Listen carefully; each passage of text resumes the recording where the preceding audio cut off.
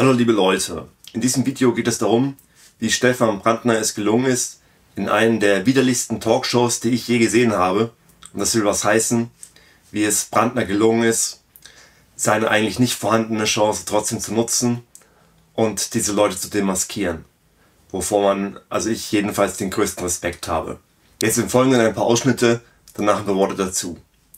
Achtet vor allem darauf, dass am Anfang Brandner angeherrscht wird von dem SPD-Mann, dass er ihn unterbrochen hat und wie der SPD-Mann dann Brandner down unterbricht. Und auch die Moderatorin. Also die Moderatorin weist ihn dann auch zurecht und Brandner wird andauernd unterbrochen, wohingegen der SPD-Mann und alle anderen ungestört reden dürfen, minutenlange Monologe halten dürfen. Seit Wochen gehen Hunderttausende Menschen in ganz Deutschland auf die Straße, um Flagge zu zeigen für die Demokratie. Viele sind besorgt angesichts der hohen Umfragewerte der AfD. Die Partei hat sich seit ihrer Gründung radikalisiert, wird in Teilen als rechtsextrem eingestuft und viele Mitglieder der ersten Stunde gehören ihr deshalb nicht mehr an. Trotzdem erreicht sie in ganz Deutschland inzwischen höhere Zustimmungswerte als die SPD. Ob die AfD nach den Landtagswahlen in Thüringen, Sachsen und Brandenburg aber eine Regierung stellen kann, hängt von den anderen Parteien ab, die jegliche Koalition bisher ausschließen. Zwischen Umfragehoch und Massenprotesten, wo steht die AfD im Wahljahr? Unser Thema jetzt.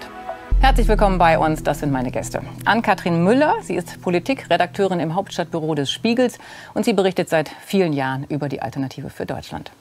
Ich begrüße Sebastian Fiedler von der SPD. Er ist Mitglied im Innenausschuss, seit 2021 im Bundestag und früher war er Vorsitzender des Bundes Deutscher Kriminalbeamter. Herzlich willkommen Stefan Brandner. Er ist einer von drei stellvertretenden Bundessprechern der AfD, Mitglied im Deutschen Bundestag seit 2017. Er war Spitzenkandidat der AfD Thüringen zur Bundestagswahl 2017 und Direktkandidat auf Listenplatz 1 2021. Und zuvor war er auch Mitglied im Thüringer Landtag.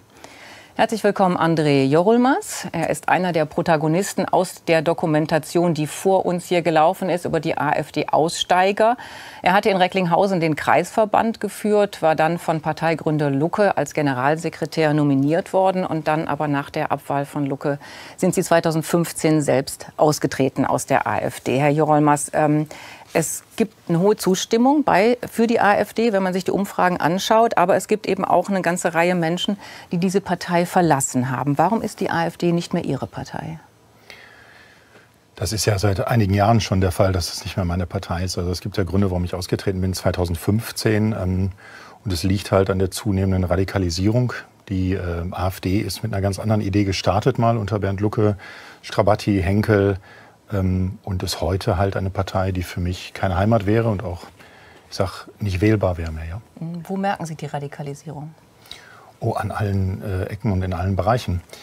Die Herausforderung ist, dass die AfD sich ja gar nicht mehr schämt davor und auch Protagonisten der AfD ähm, in der Öffentlichkeit wirklich zu, nicht mehr zu polarisieren, sondern auch wirklich die Gesellschaft herauszufordern und aggressiv mit äh, polemischen Mitteln nach vorne zu gehen. Ja. Und äh, das war früher noch ganz anders. Also in der Partei, ähm, da hat man versucht, sich noch zu entschuldigen, wenn irgendwo mal Aussagen waren, die nicht so in Ordnung waren zu Beginn. Und das ist heute vollkommen verschwunden. Mhm. Reden wir gleich natürlich darüber, woran das liegt und was man, wie Sie darauf reagiert haben. Frau Müller, was äh, würden Sie sagen? Wie hat sich die Partei verändert? Würden Sie dem zustimmen, was Herr Jorolmer sagt, dass sich die Partei radikalisiert hat? Also im Vergleich zu ganz zu Beginn auf jeden Fall, äh, zu 2015 auch nochmal. Äh, ich würde sagen, die letzten Jahre sehen wir eher, dass das, was schon lange die Mehrheit in der Partei sich einfach immer offener zeigt und tatsächlich äh, man sich da nicht mehr distanziert äh, von auch nur irgendetwas. Ähm, da gibt es nur ganz weniges, was da noch auf Kritik sozusagen stößt, beziehungsweise die Teile in der Partei, die noch Kritik an manchem äußern, haben einfach keine Relevanz mehr, haben keine Macht mehr, ähm, verlieren Abstimmungen und so weiter. Mhm. Herr Brandner, wenn Sie das hören, äh, was Herr Jurelmas sagt und auch andere in dieser Dokumentation, die wir gezeigt haben über die AfD-Aussteiger, da sagen eben viele, das ist nicht mehr die Partei, weil sie zu radikal geworden ist. Warum hat die Partei diesen Weg eingeschlagen? Ich kenne die, Dokumentation jetzt nicht. Also ich habe es nicht gesehen. Ich, wir haben gerade kurz darüber geredet. Aber diese, diese These, dieses Märchen von der Radikalisierung gibt es ja schon lange. Da ist aber überhaupt nichts dran. Und ich sage mal, Sie sind ja 2015 ausgetreten. Das heißt, ja da schon war schon angeblich so radikal, dass Sie es nicht mehr aushalten konnten. Ich habe dann gelesen, 2016 wollten Sie wieder eintreten. Da hat offenbar eine Deradikalisierung stattgefunden. Also so ganz klar über den Weg mit der AfD waren Sie sich offenbar nicht. Aber es macht nichts. Wir nehmen halt Themen auf, die ansonsten keine Partei aufnimmt. Das war 2013, 2014 war es die im Rahmen der Euro-Krise, die Euro-Rettung. Die Frage, dass also hunderte Milliarden deutsche Steuergelder ins Ausland geflossen sind. 2015 kam eine ganz andere Thematik, die auch kein anderer angesprochen hat, die Massenzuwanderung. Und inzwischen ist die Thematik halt mehr die soziale Frage und wirtschaftliche Themen, die wir zurzeit bearbeiten. Das hat mit Radikalisierung überhaupt nichts zu tun. Also Sie sagen, Ihre Partei ist überhaupt nicht radikaler geworden, Nein, obwohl sie in einigen Ländern als gesichert rechtsextrem gilt. Ja, wer, wer sagt das? Der Verfassungsschutz sagt das. Und der Verfassungsschutz ist dominiert von den Altparteien. Ist klar, dass die uns das heißt, loswerden Herr, wollen. Herr Brandner, Sie äh, akzeptieren den Verfassungsschutz nicht als eine demokratische Institution? Ja, überhaupt nicht. Was ist denn daran demokratisch und Verfassungsschutz? Das sind Ministerialbeamte, die abhängig sind von einem jeweiligen Parteipolitiker, der Innenminister ist. Der Verfassungsschutzpräsident von Thüringen wollte für die SPD in den Bundestag. Da sehen Sie mal, was den antreibt. Die wollen uns vernichten, die wollen uns platt machen. Das hat mit der eigentlichen Idee des Verfassungsschutzes, Deutschland, sage ich mal, zu verteidigen gegen aggressive Angriffe auf die freiheitlich-demokratische Grundordnung, überhaupt nichts zu tun. Also Vernichtungsfantasien gibt es ja eher bei der AfD und äh, man kann jetzt auch nicht sagen, dass bei jedem Landesamt für Verfassungsschutz alle fünf Jahre die Leute komplett ausgetauscht werden, oder? Also die Beamten bleiben ja. Also ich habe weder das eine noch das andere gesagt. Ja, aber wenn Sie sagen, es ist abhängig immer nur von dem, der in der Spitze steht, also da müsste man ja jeden Beamten dann da austauschen. Mhm. Ich habe über die Präsidenten gesprochen und über diejenigen, die sie anführen. Das sie sind die jeweiligen Landesinnenminister. an sich gesprochen. Ja. Sie haben gesagt, dass Sie das als Institution, dass Sie das nicht so So wie er aufgestellt ist, ist völlig indiskutabel. Ja, Herr Fiedler, würde ich gerne Sie zu hören. Sie erleben die AfD ja auch im Bundestag. Äh, einfach noch mal zurückzukommen, wie radikal ist die Partei aus Ihrer Sicht? Ja, aber äh, gestatten, gestatten Sie mir, ich muss diesen Unsinn, den ich ja. ständig höre, auch im Bundestag natürlich ein einmal den äh, Menschen an den äh, Fernsehern erklären können. Das ist natürlich grober Unfug von vorne bis hinten. Zunächst einmal ist es so, dass da Beamtinnen und Beamte arbeiten, die ein Eid auf die Verfassung geschworen haben, so wie ich als Polizist in der Vergangenheit einmal. Die halten sich an Recht und Gesetz von morgens bis abends.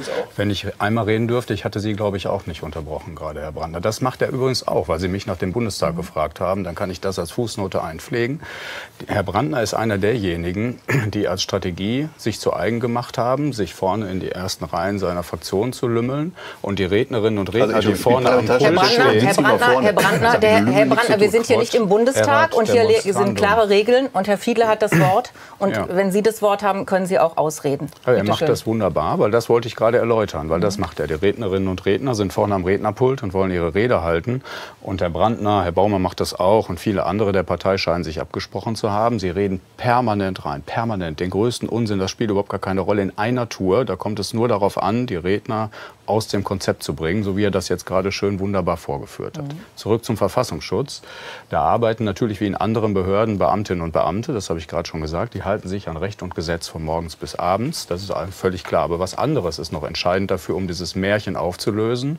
All die Dinge, die der Verfassungsschutz erarbeitet hat, beklagt regelmäßig die AfD vor den Gerichten. Und die unabhängigen Gerichte, vielleicht sagt er uns gleich, die werden auch irgendwie parteipolitisch beeinflusst, entscheiden regelmäßig über die Feststellungen des Verfassungsschutzes. Tausende von Akten werden beispielsweise zum Verwaltungsgericht nach Köln getragen und werden dort überprüft. Und natürlich ist es deswegen richtig, dass sie in drei Ländern als rechtsextrem eingestuft ist. Und daran kann man auch erkennen, an vielen anderen Punkten, dass sie sich natürlich wahnsinnig radikalisiert hat. Sie ist eine Anti-Partei, eine vermeintliche Anti-Establishment-Partei. Und sie lehnt im Prinzip alle Institutionen, die wir so kennen, die drei Gewalten, aber auch die Presse natürlich ab.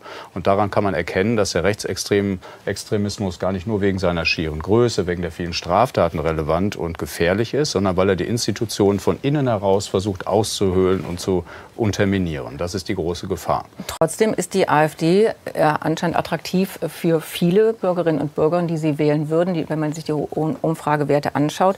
Frau Müller, was ist Ihre Erklärung dafür, dass die Partei, die sich eigentlich radikalisiert hat, trotzdem äh, so viel Zustimmung bekommt?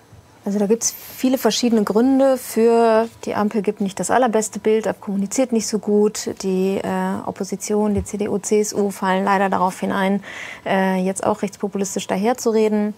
Aber was die AfD tatsächlich sehr erfolgreich und geschickt gemacht hat, ist eben schon zu Beginn, relativ äh, am Anfang, direkt bestimmte Narrative, also Erzählungen zu implementieren, dass zum Beispiel die gesamte Medienlandschaft irgendwie linksgrün versifft sei, dass äh, die Parteien nur Eliten seien, dass die in der Regierung sich irgendwie die Taschen voll machen äh, und gegen das eigene Volk agieren würden.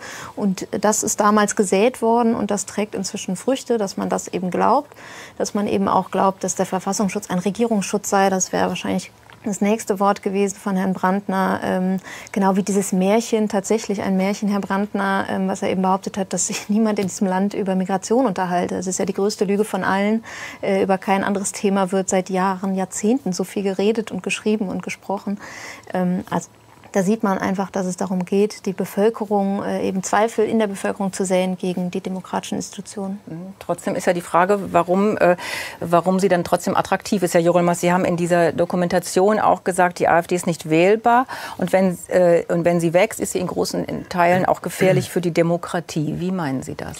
Ähm eine, immer eine radikalisierende Energie ist eine Gefahr für die Demokratie. Und wir haben im Moment Herausforderungen, ähm, Nahostkonflikt, der Ukraine-Konflikt, wir haben äh, das Drohgebärden von China und Taiwan. Ähm, und da kommen wir in eine Situation, wo einfach Bürgerinnen und Bürger, ähm, glaube ich, auch nervös werden, vielleicht auch in Teilen ängstlich, sich auch mit der Politik nicht auseinandersetzen und natürlich auf Narrative dann reinfallen irgendwann oder darauf anspringen. Das Problem ist, also wenn, wenn Sie gerade sagen, die äh, Partei hat sich in den Jahren überhaupt nicht verändert in, in eine radikale Art und Weise, ist das genau ja das Beispiel, was ich meinte. Äh, mit der Ignoranz und dass man sich gar keine, äh, gar keine Mühe mehr macht, darüber zu sprechen. Ja? Also Sie, Herr Brandner, ja allen voran nicht. Äh, wenn ich mir Zitate von Ihnen ansehe, dann wird einem ja ganz anders. Welche denn? Oh. Ja, so, so einige. Also ich glaube, irgendwo habe ich was gelesen von ähm, die ähm, typische Kleinfamilie. Ich glaube, da ging es um Migrationshintergrund, ist äh, Papa, Mama und zwei Ziegen. Und wenn sowas möglich ist, dass sowas gesagt wird und in einer Partei geduldet wird und man dann auch noch Sprecher ist, Stellvertreter, dann äh, halte ich das für eine große Gefahr. Herr Brandner, wenn Aussteiger die Radikalisierung beklagen, gibt es Punkte, wo Sie sagen, das ist eigentlich schade, dass wir die verloren hätten, die hätte ich gern wieder, die die, die AfD verlassen haben? Ja, ein Punkt ist nochmal gerade, dass Sie auch hier Lügengeschichten aufsetzen. Dieses Zitat geistert seit Jahren durch die Gazetten. Es ist einfach falsch und erlogen und erstunken mit erlogen.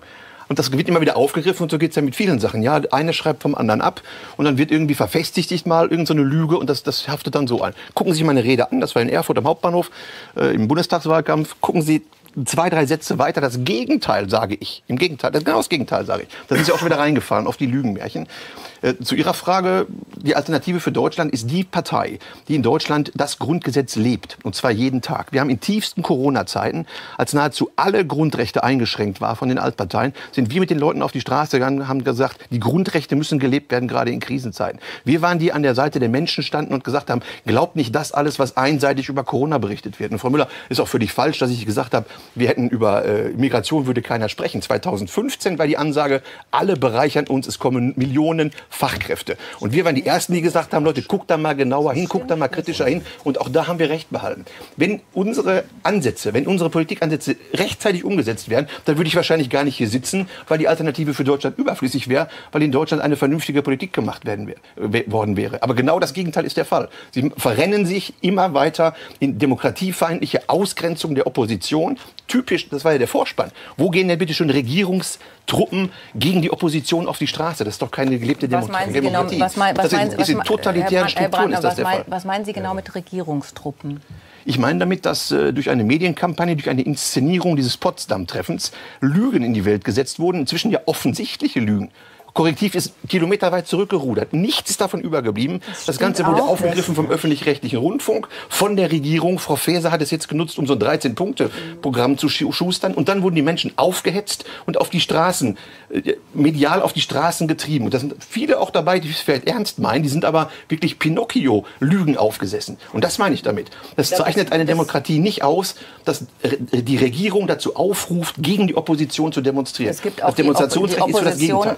Die AfD ist nicht die einzige Oppositionspartei. Es gibt Doch. auch die CDU und naja. es gibt auch die Linke die im Bundestag. Äh, Frau Müller, vielleicht möchten Sie noch mal was dazu sagen, was, was Ihrer Meinung nach die Menschen bewogen hat oder wodurch diese Proteste so stark geworden sind und was diese, diese Berichterstattung über das Potsdamer Treffen ausgelöst hat? Also meine Erfahrung ist, dass es in den letzten Monaten schon auch vor der Korrektivrecherche eine wachsende Sorge im Land gab, eben über die steigenden Umfragen Also natürlich versucht man da auch zum Herr Teil zu Sellner verstecken. als Chef der Identitären Genau, Bewegung. der im Zentrum dieses Treffens stand äh, und da über Remigration geredet hat, ein rechtsextremer Kampfbegriff, wie man äh, Menschen mit Migrationshintergrund aus Deutschland loswerden will. Und ähm, Das ist völliger Unsinn. das, das haben Quatsch. Sie und Ihre. Kollegen aus äh, dem Bundesland, aus dem Sie zum Beispiel auch sind, Thüringen und aus den anderen Ostfraktionschefs, haben das nochmal bestätigt, was Remigrationskonzept für die AfD bedeutet. Steht in Ihrem Europawahlprogramm, es stand in der letzten Bundestagswahlprogramm. Es geht darum, Menschen mit Migrationshintergrund, die entweder nicht geduldet sind oder die sogar geduldet sind oder auch sie unter Zwang, unter Druck äh, eben aus Deutschland zu befördern. Auch indem man die Gesetzeslage ändert, das ist mir schon klar. Aber deswegen ist es ja noch lange nicht rechtens, denn danach können solche Entscheidungen auch immer noch angegriffen werden. Ich würde gerne meinen Punkt zu Ende machen. Ähm, das kam dann noch mal oben drauf, dass Leute noch mal verstanden haben, welche Milieus sich eigentlich da so in Potsdam getroffen haben und Vielleicht dann noch mal zu diesem Thema Remigration.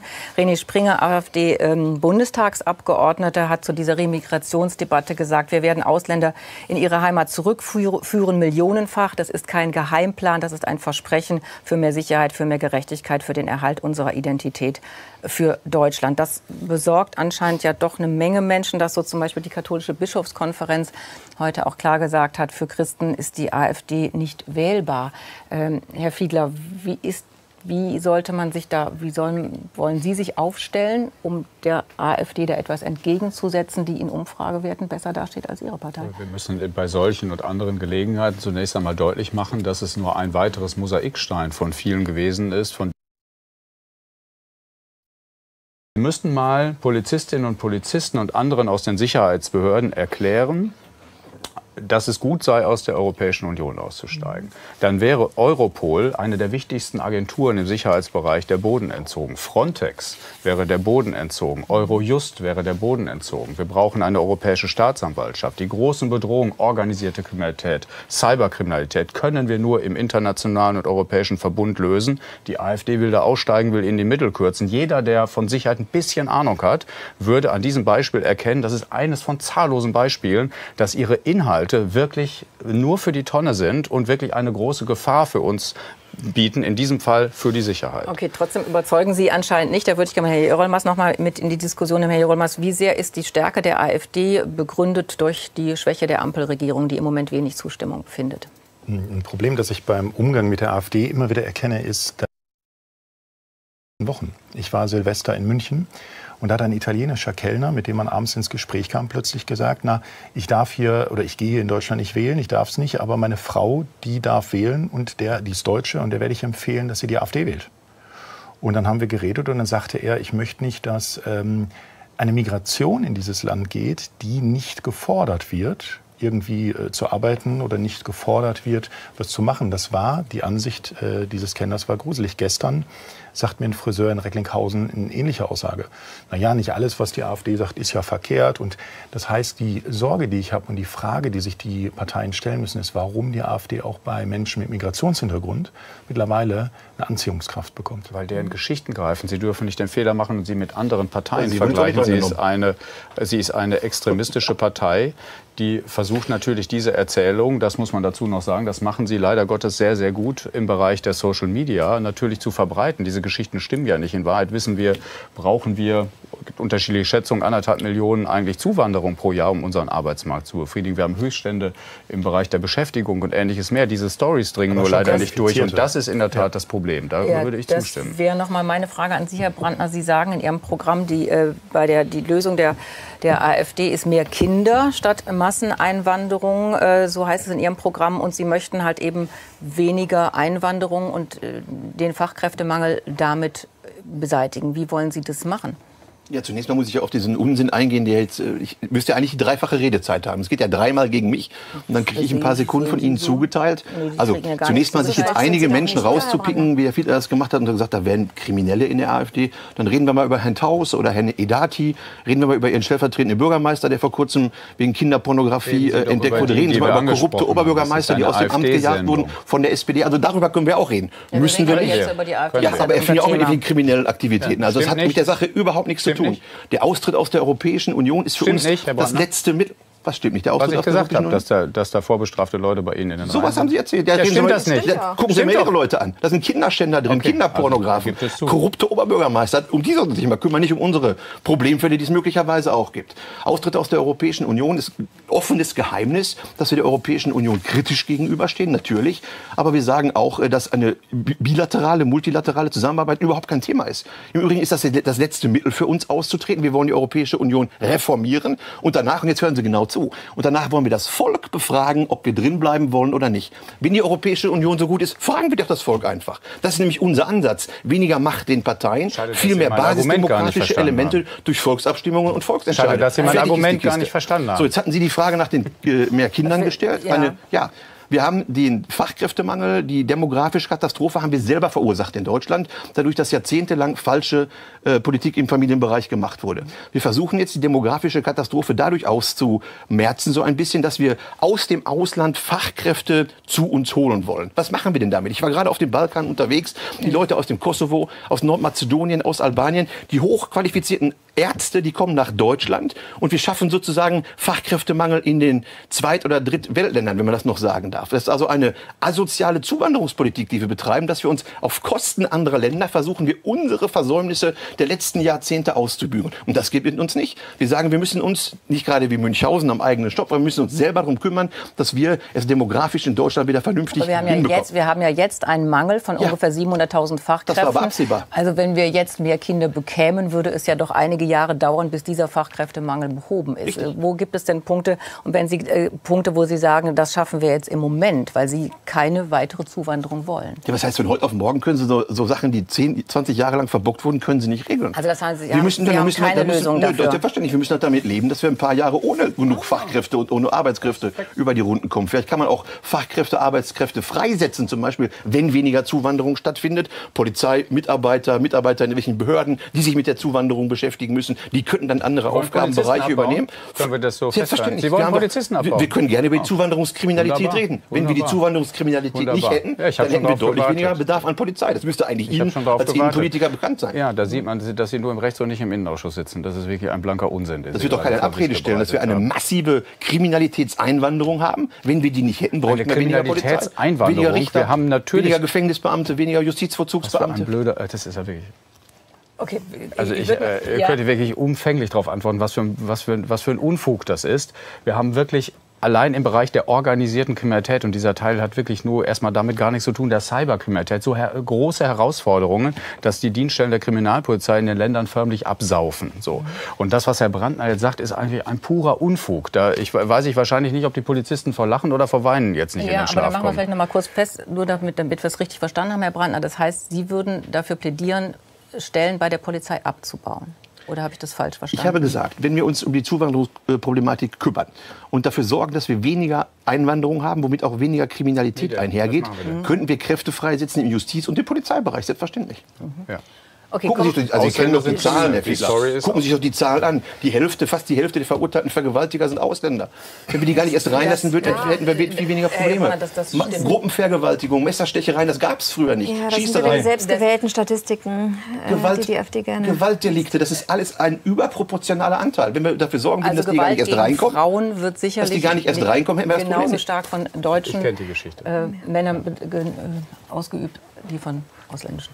Frau Müller, äh, wenn wir auf die Wirtschaftspolitik kommen, es gibt jetzt eine, ähm, eine Bewegung auch oder viele Wirtschaftsunternehmer, die jetzt sagen, äh, es ist gefährlich, wenn die AfD zu stark wird. Äh, auch der Präsident des, des BDI, Ruswurm, hat davor gewarnt, hat gesagt, es ist wirtschaftlich gefährlich. Wie beurteilen Sie das, dass es da jetzt auf einmal so ein, ja, doch ein stärkeres Bekenntnis gegen die AfD gibt? Ja, das ist ganz interessant.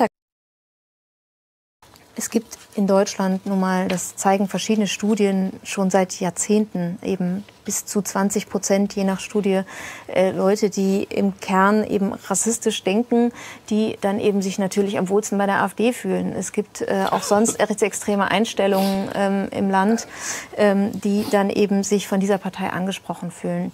Das heißt, da geht es nicht immer nur darum, die AfD bedient sehr stark dieses Bild, so wir sorgen uns um dich, was gar nicht im Programm sich niederschlägt, wenn man es durchrechnet. Ähm, aber eben dieses, dieses Bild einer Partei für Egoisten, ehrlicherweise, ähm, also wenn es nur um dich geht, dann wird alles gut. Ähm, und das, das kriegt sie halt eben gut bedient.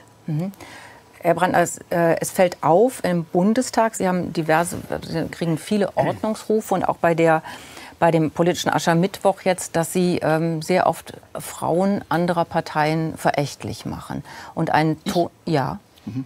in einem Ton, ähm, der äh, bemerkenswert ist. Warum machen Sie das? Also das sind jetzt zwei Paar Schuhe. Äh, die Ordnungsrufe im Bundestag kann ich Ihnen erklären. Die Geschäftsordnung des Deutschen Bundestages sieht vor, dass jede Fraktion einen Vizepräsidenten des Deutschen Bundestags stellt. Uns wird seit sechs Jahren entgegen der Geschäftsordnung unter täglichem Bruch des selbstgesetzten Geschäftsordnungsrechts verweigert, einen eigenen äh, Bundestagsvizepräsidenten ähm, ins Präsidium zu entsenden. Das heißt, es sitzen nur von den anderen Parteien. Ist, ist, das, Recht, eine, ist das Recht, eine, äh, eine Vizepräsidentin zu, zu nominieren? Nein, nein, nein. Doch, auch die, auch die, auch die, auch die Grünen haben, es hat sehr lange gedauert, bis die Grünen Das kann alles sein. Gucken Sie in die Geschäftsordnung rein. Hatten. Jede Fraktion hat Anspruch auf einen Vizepräsidenten. So steht es dann nahezu wörtlich drin.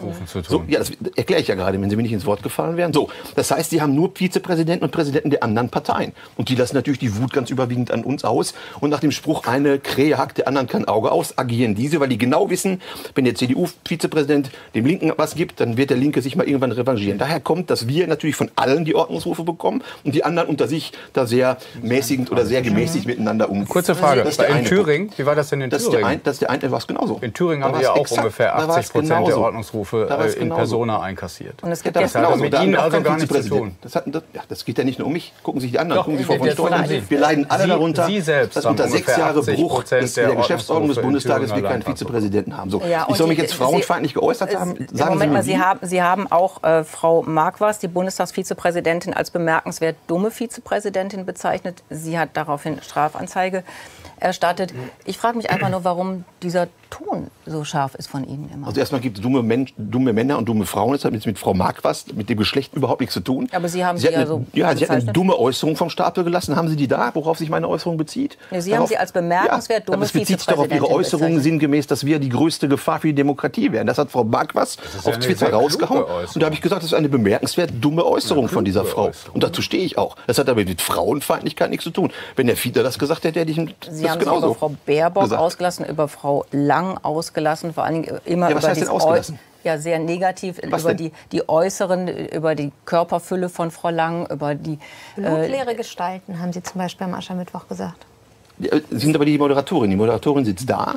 Das war eine Aschermittwochsrede und genauso, ich habe geschildert, ich habe geschildert, wie mir am Rednerpult äh, das Publikum äh, vorkommt, in das ich reingucke und da sitzen blutleere Politzombies, habe ich gesagt. Die, vertrocknete genau. Gestalten. Das hat mit Frauenfeindlichkeit nichts zu tun. Sie haben dann nur Frauennamen gesagt. Das ist Zufall. Nein, nein, nein. Doch, Doch. Hasselmann ja, habe ich bei Frauennamen, vielleicht fiel mir da keine Männernamen ein. So, was habe ich bei Frau Baerbock, was soll da frauenfeindlich sein? Eine grüne Frau, die Sie haben über, die, über, über Frau Baerbocks Friseurrechnung gesprochen, über die Englischkenntnisse. All das ist, war, es war ja nur meine ja, Frage. Das sind doch Fakten.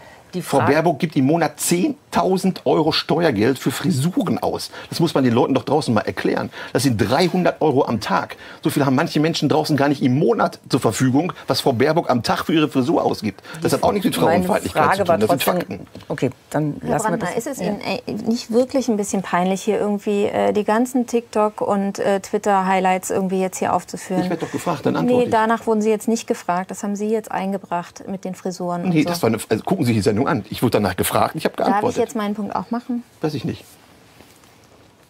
Sie sind generell gerne frauenfeindlich. Sie suchen sich immer wieder Frauen raus, beleidigen die doppelt und dreifach. Sie müssen immer wieder über die äh, Figur von bestimmten Politikerinnen reden.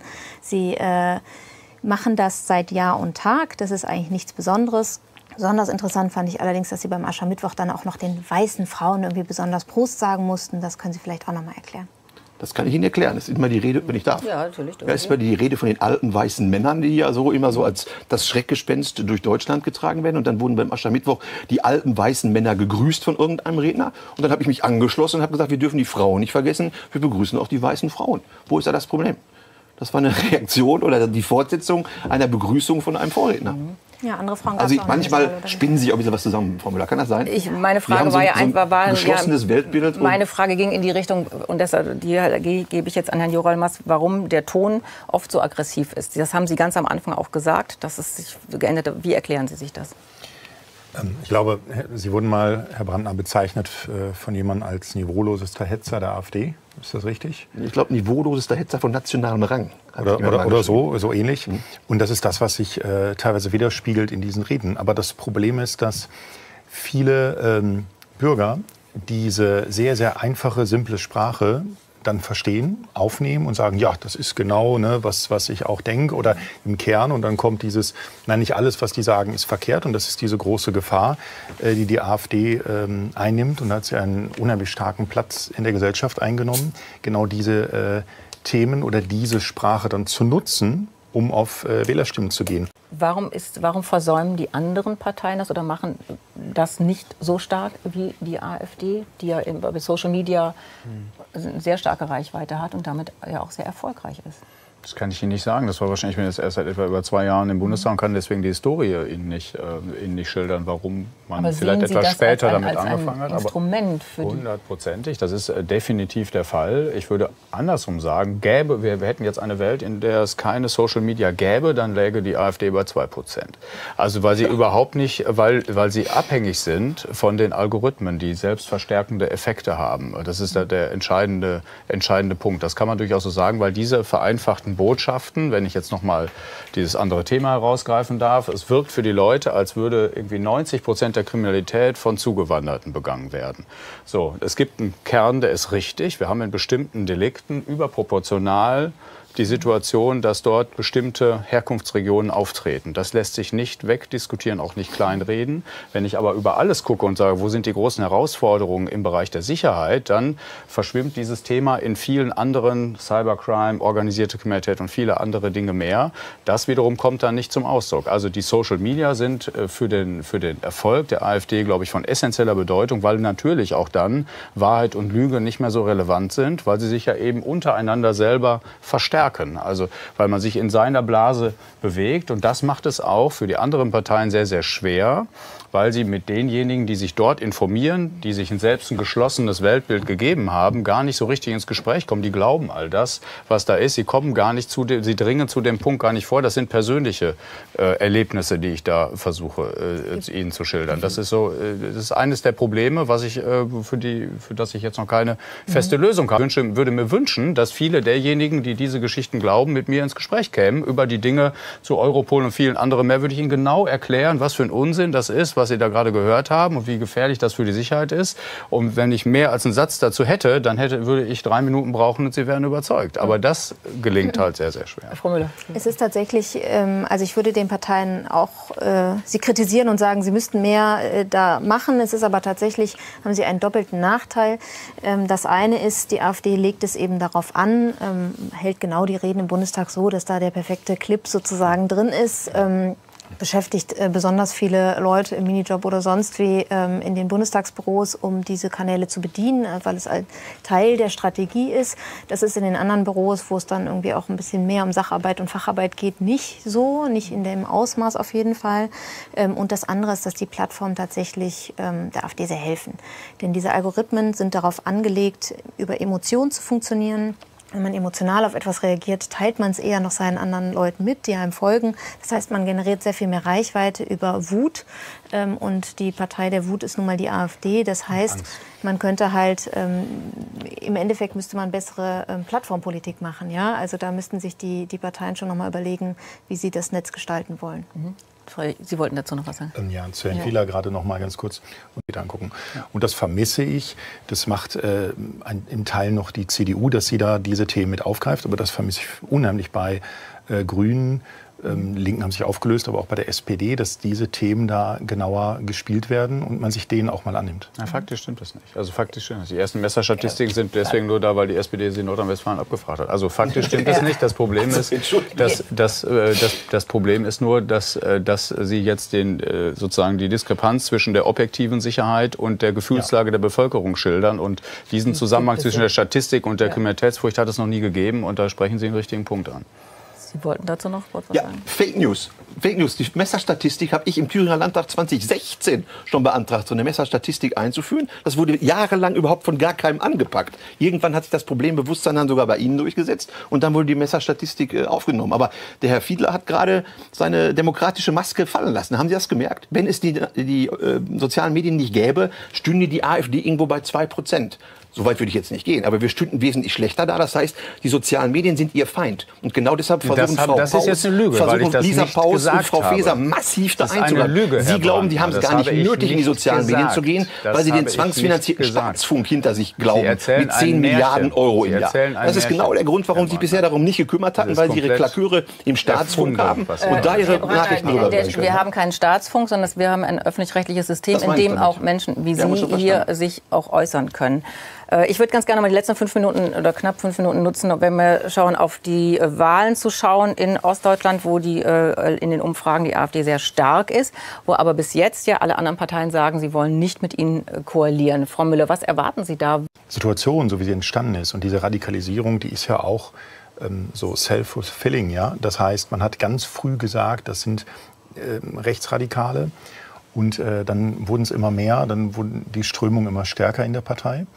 Und äh, die große Sorge habe ich, also um auf die Frage zu antworten, dass sie koalitionsfähig wird, was Sie gerade gesagt haben, die Normalisierung tritt ein. Und ich habe früher schon Freunden gesagt, ich habe nur eine Sorge, da war ich noch Parteimitglied, dass die Partei irgendwann so sehr unterwandert wird von radikalen Kräften, aber die, Verbraucher, die Bürger das nicht mehr sehen und dann sagen, ja, eigentlich ist sie ja wählbar. Also dass sie dann wirklich der Wolf im Schafspelz ist am Ende. Ne? Die Partei wurde ja nicht unterwandert, sondern äh, Menschen wie Herr Brandner waren ja sehr früh dabei, Herr Höcke war sehr früh dabei, Herr Kalbitz war sehr früh dabei, die haben die Kreisverbände aufgebaut. Also die gab es ja schon ja, Es immer, gab ne? schon Systeme, ganz ehrlich, wie ähm, Leute, wie die Tore geöffnet worden sind in ganz vielen Verbänden. Ja, man immer ist mehr da sehr geschickt kamen. vorgegangen, ja? auf jeden genau, Fall, um genau, die genau, ja. Flügel zu stärken. Herr Brandner, äh, wie sehr richten Sie sich darauf ein, äh, in Thüringen zu regieren und die CDU von sich zu überzeugen?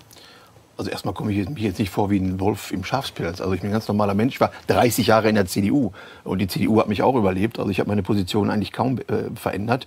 In Thüringen ist es ja ähnlich wie in Sachsen. In Thüringen ist die AfD so stark wie die gesamte Ampel zusammen. In Sachsen ist die AfD doppelt so stark wie die gesamte Ampel in äh, Berlin äh, zusammen. Die FDP kaum noch messbar. Die SPD steht vom Rausflug Trotzdem aus dem Landtag. Jetzt keiner mit Ihnen koalieren. Ja, völlig klar. Wir sehen, wer überbleibt. Also die FDP wird definitiv nicht überbleiben. Die SPD wird nur marginal, wenn überhaupt, eine Rolle spielen. Die mit den Grünen haben wir relativ wenig Berührungspunkte, sage ich mal. Äh, ist nicht alles Quatsch, was die machen, aber zu 99,5 Prozent. Da bleibt eigentlich nach dem Ausschlussprinzip nur noch eine CDU über. Und die CDU übernimmt ja sukzessive unsere Position. Sie haben es ja gerade selbst beklagt, dass die CDU beispielsweise die Migrationspolitik also plötzlich völlig davon, anders sieht. Gehen Sie davon aus, dass die CDU mit Ihnen dann... Davon gehe ich nicht aus, aber die CDU wird sich äh, fragen lassen müssen, mit wem wollen Sie denn den Politikwechsel machen? Doch nicht mit denen, die es verzapft haben. Da bleiben eigentlich auch nur wir über. Aber man wird sehen, wer übergeblieben ist nach den Wahlen in den Parlamenten und diejenigen sollen alle gesprächsbereit sein. Ganz, ganz entscheidend ist, das sind jetzt Umfragewerte, die wir jetzt haben, das sind noch nicht die Wahlergebnisse. Wir sollten auch uns davor hüten, jetzt schon irgendwie Untergangsszenarien zu sehen. Wir müssen sehen, dass eben die vielen Demos, die vielen Leute, die wirklich aus den Wohnungen herausgekommen sind, die auf die Straße gegangen sind, denken Sie an die Äußerungen von Konzernlenkern, die jetzt sagen, wie wichtig es ist, dass wir für Vielfalt stehen und dass die AfD keine wirklich gute Idee ist. Und das die Moderatorin hat jegliche Neutralität von Anfang an aufgegeben und war ein, im Grunde ein, ein zusätzlicher Talkshow-Gast gegen Brandner. Es war offensichtlich extrem unfair. Es war, also es war wirklich ja, das Unterste, was ich je gesehen habe. Und das will viel heißen bei Lanz und so weiter und so fort. Also diese Sendung, sie war so unterirdisch und ich finde diese Leute so abstoßend dass ja, also ich mir die Frage stelle, was haben wir hier überhaupt für ein Problem mit irgendwelchen Islamproblemen, wenn wir sowas haben. Wenn wir solche Leute haben, das ist so undemokratisch, das ist so ein großes Problem. Also schlimmer geht's überhaupt nicht. Also jedenfalls nach meinem Empfinden, schlimmer geht's nicht mehr. Und auch bei dem, was die Leute machen, wenn man sich jetzt die Ukraine anguckt, die Menschenleben, die sie zu verantworten haben, durch ihre Berichterstattung, durch die Täuschung der Öffentlichkeit, es ist, man kann es gar nicht unterschätzen. Also wie schlimm das ist, wie schlimm das ist, was diese Leute machen. Und jetzt kann man sich natürlich sagen, okay, ja, die sind abhängig in ihrem Beruf, aber es gibt viele Leute, die sind schon alt genug. Nehmen wir mal beispielsweise die ganzen Rentner, irgendwelche Politrentner wie Gerhard Baum oder, oder viele andere. Sie müssten es nicht machen. Oder viele Journalisten, in Anführungszeichen, haben schon längst ausgesorgt, sie müssen das auch nicht machen. Und diese Leute, sie machen, machen das trotzdem immer wieder. Und auch mit, mit Freude, mit, mit offensichtlicher Freude. Es war ein einziges Staccato, das auf Brandner eingeprasselt ist. Und der Trick war wahrscheinlich der, dass man versucht hat, also es kommen so viele Vorwürfe auf einmal, dass dann, ja, dass man die Fassung verliert. Dass man eigentlich überhaupt nichts mehr sagen kann, dass einem gar nichts mehr einfällt. Und die Frage der Moderatorin am Anfang war dann auch gar nicht mehr auf die Vorwürfe gerichtet, auf das Framing, wie die AfD eingeordnet wird, ob das stimmt, sondern es war dann die Frage nur noch, warum sich die AfD in diese Richtung entwickelt hat. Also es wurde Brandner sozusagen gar nicht mehr die Gelegenheit gegeben, ja stimmt das denn, diese ganzen Vorwürfe, die hier alle nacheinander in den Raum gestellt haben, stimmt das? Oder was haben sie hier für Gegenargumente vorzubringen? Ihm werden gar keine Gegenargumente eingeräumt, sondern er darf nur noch begründen, warum die AfD so schlimm ist. Und äh, er darf sich eigentlich im Grunde gar nicht mehr verteidigen. Es ist praktisch schon unzulässig, sich überhaupt zu verteidigen, dass es so ist. Es war jetzt aber so, dass die Moderatorin und der SPD-Mann, dass sie einen, einen folgenschweren Fehler gemacht haben. Und zwar hat Brandner am Anfang kurz unterbrochen, es war wirklich eine Kurzunterbrechung und sie war auch naheliegend. Es war eigentlich verständlich, dass an dieser Stelle unterbrochen wird. Und diese Gelegenheit hat der SPD-Mann dann ausgenutzt, Brandner anzuherrschen, ja, dass er doch der unter großen Unterbrecher wäre, er ja auch im Bundestag dauernd auffallen würde. Und er hat sich dann dran gehalten, hat nichts mehr gesagt. Und nach einer Weile kommt er aber dann zu Wort. Und jetzt wird er dauernd unterbrochen von, von dem SPD-Mann. Auch teilweise auf, auf die frechste, auf die unverschämtste Art und Weise. Und die Moderatorin bricht ihn, unterbricht ihn auch die ganze Zeit. Und der Zuschauer konnte es natürlich sehen. Er wird am Anfang angeherrscht, als der Böse dargestellt. Herr Brandner, wir sind hier nicht im Bundestag und hier sind klare Regeln und Herr Fiedler hat das Wort. Und ja. wenn Sie das Wort haben, können Sie auch ausreden. Und die Zuschauer können es vielleicht schön sehen, wie es wahrscheinlich auch im Bundestag abläuft, wie, wie unfair es ist. Er wird unterbrochen, die anderen schustern sich die Mehrheiten zu und die anderen machen genau das, was sie der AfD vorwerfen. Also die Moderatorin hat Brandner da unterbrochen und der SPD-Mann ohne Scham die ganze Zeit. Und das Gute ist, die Zuschauer konnten das alle live sehen.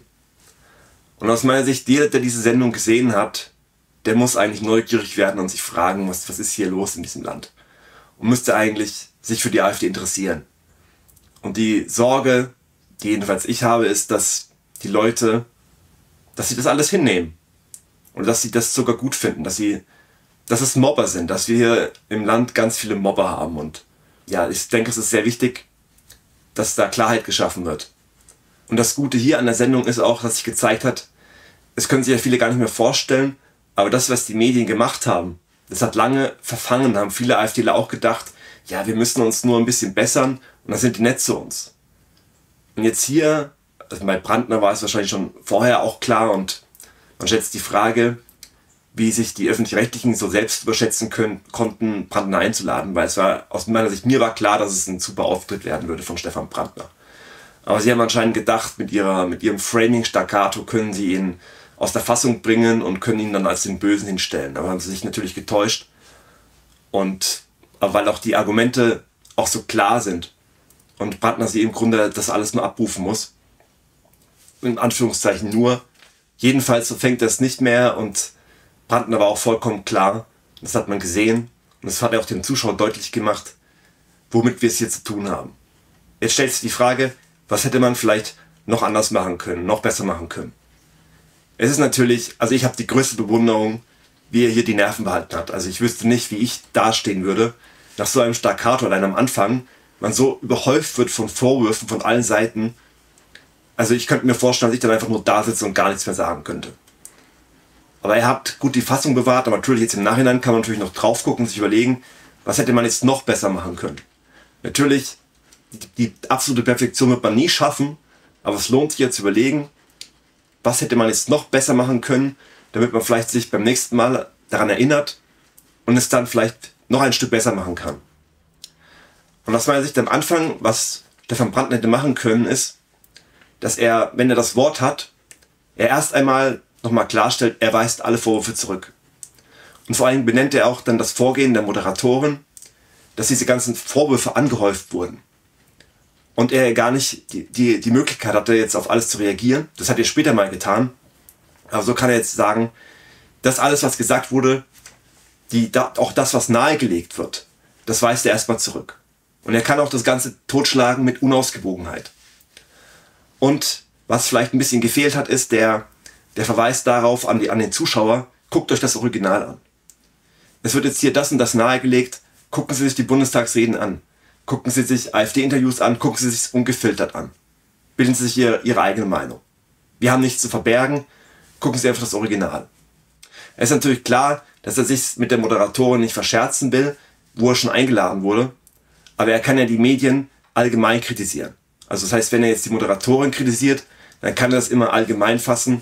Zum Beispiel bei Korrektiv hätte er sagen können, dass die Aufgabe der Medien gewesen wäre, das kritisch zu durchleuchten. Und er hätte bei Korrektiv auch konkret werden können. Also er hat natürlich gesagt, Korrektiv, sie mussten zurückrudern, aber aus meiner Sicht, es wäre noch besser gewesen, wenn man jetzt konkret den Punkt herausgegriffen hätte, dass deutsche Staatsbürger ausgebürgert und deportiert werden sollen. Dass man das also noch konkreter macht, weil er hat Ann-Kathrin Müller hat dann gesagt, ja nee, äh, Korrektiv musste doch nicht zurückrufen dann. Und es war dann so, es schien dann so Aussage gegen Aussage, weil Brandner hat ja nicht viel Zeit und dann denkt sich der Zuschauer, der eine sagt das, der andere sagt das. Aber wenn jetzt hier man die anderen festnagelt mit einer konkreten Aussage, wie jetzt hier man diesen Punkt herausgreift, dann ist es für Ann-Kathrin Müller, dann kann sie nichts dagegen sagen.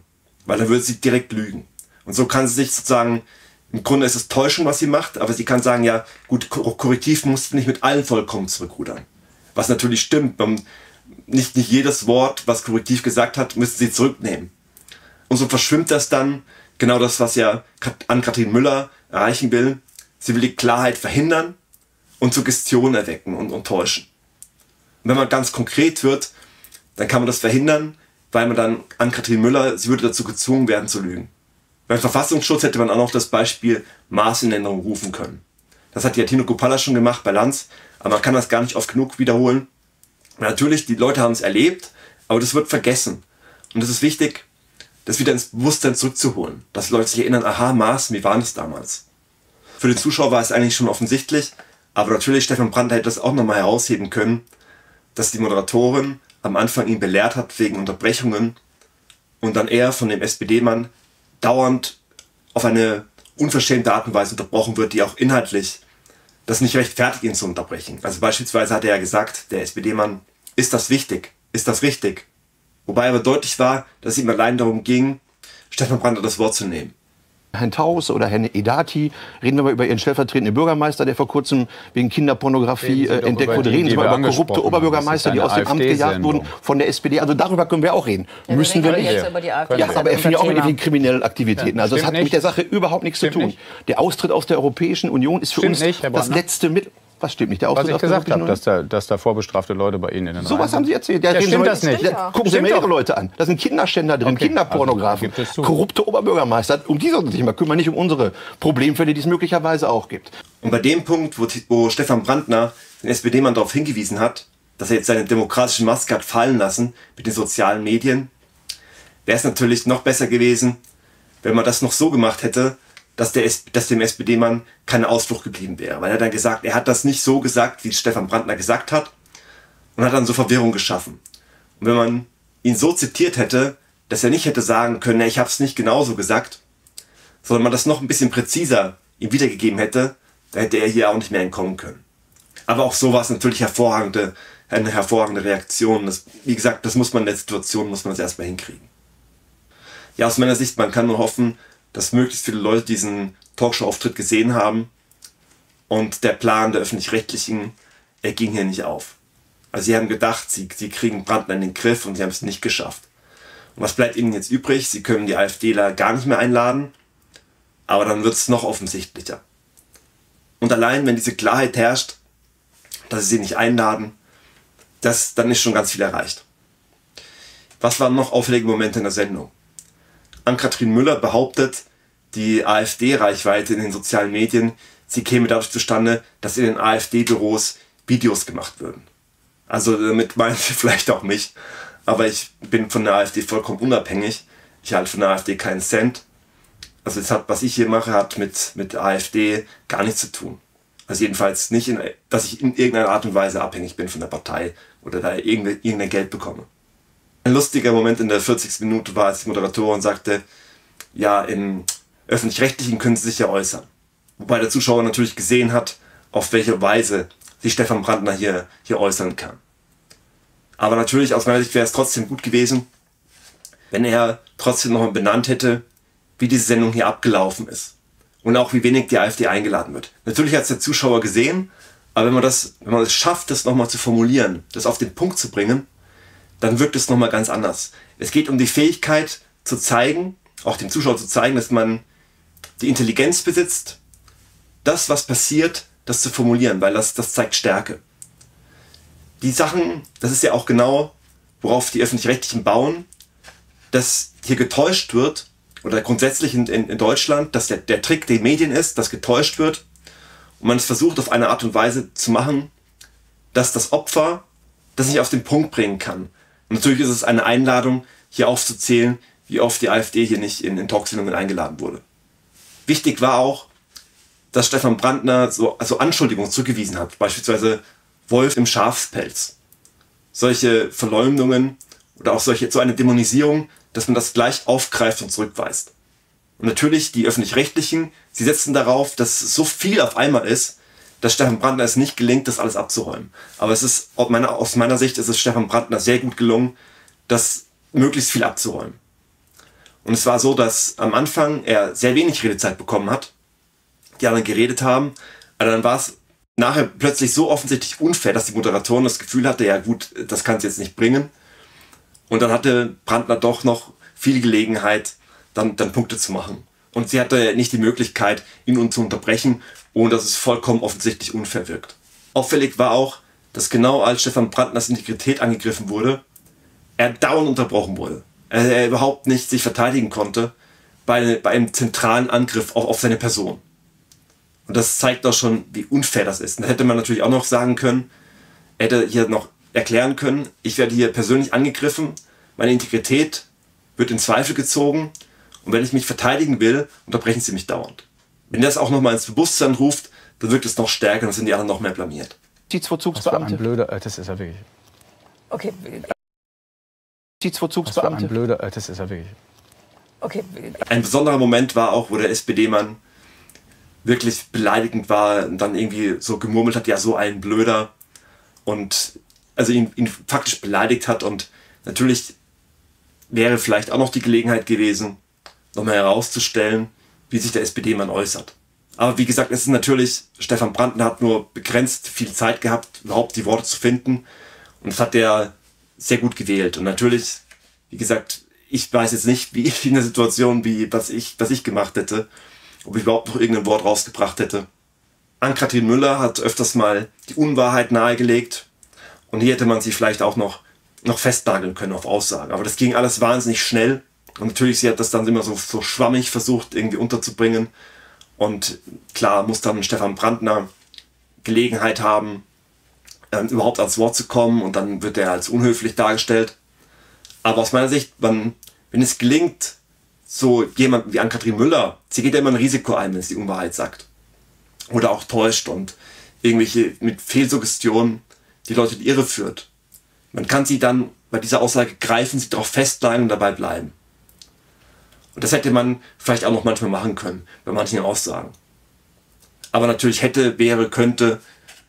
Es gab nur begrenzt Zeit und Stefan Brandner, ich kann nur wirklich sagen, nach der Sendung, das war wirklich auch ein Meilenstein. Also das war ein, aus meiner Sicht, ihr könnt ja schreiben, was ihr denkt, aber ich fand den auf, ich fand es wirklich super, wie er es, wie er es gemacht hat und man kann nur froh sein, dass die AfD solche Leute hat, die das hinbringen, sich dann so schlagfertig zu äußern. Also, ja, die, die Talkshow-Auftritte jetzt, sie sind, sie gefallen mir sehr gut. Also ich war ja vor zwei Jahren, also nicht nur ich, bestimmt, ihr bestimmt auch, zum Teil sehr enttäuscht. Und jetzt ist das wirklich, wirklich super. Ihr könnt schreiben, was ihr denkt, was ich vergessen habe, was euch sonst so einfällt.